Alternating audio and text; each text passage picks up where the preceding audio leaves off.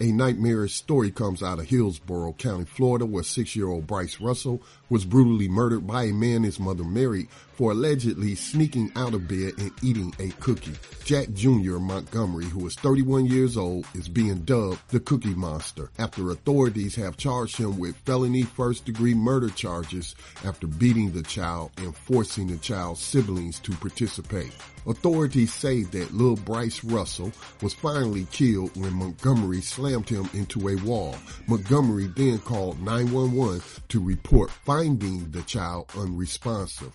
When the Hillsborough County Fire Rescue responded at the Masters Inn in Seffner, Florida, they found Brice lying in a bed and pronounced him dead at 10:59 a.m. Sunday morning. In addition to physically assaulting Brice, Montgomery threatened the boy's three other siblings with violence if they did not join in the assault, with at least one admitting that they struck their brother out of fear.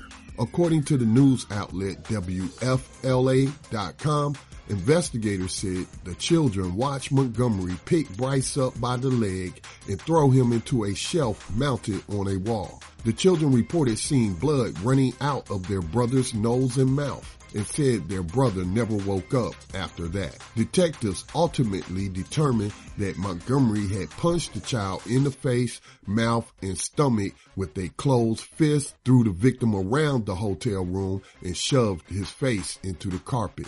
Investigators also say that the four children's mother was at work, leaving them in the care of Montgomery, who is described as the husband of 28-year-old Danya Shanita Russell. It is not known at this time whether Russell and her children suffered regular abuse at the deadly hands of Montgomery or if the violence was only directed at the children. Montgomery's jail bond was set at $87,000. This has been Scotty Reed of BTR News reporting. Support independent media today by giving a tax deductible donation to the Black Talk Media Project, which has been providing public digital media since 2008.